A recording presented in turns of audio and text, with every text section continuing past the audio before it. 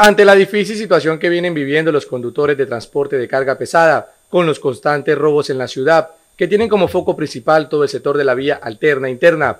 el coronel José Domingo Cantillo, comandante de la Segunda Brigada de Infantería de Marina en Buenaventura, afirmó que se conoce de esta situación que padecen los transportadores de carga pesada y que por lo tanto el día de mañana estarán funcionarios del Ministerio de Defensa y Transporte con el fin de llegar a posibles estrategias para erradicar esta situación.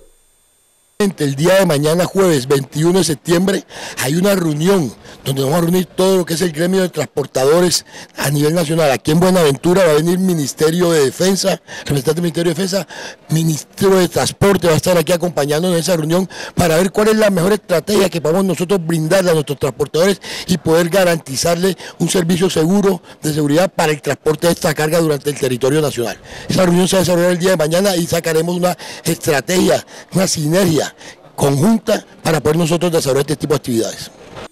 Se espera que esa reunión entre las autoridades locales y nacionales tenga un balance positivo que garantice la seguridad en el sector de la vía alterna interna, uno de los sectores más afectados en materia de hurtos y extorsiones.